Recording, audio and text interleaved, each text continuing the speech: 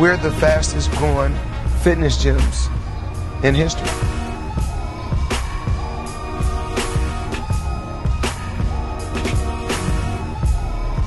the atmosphere with the Mayweather Boxing Fitness is, is amazing.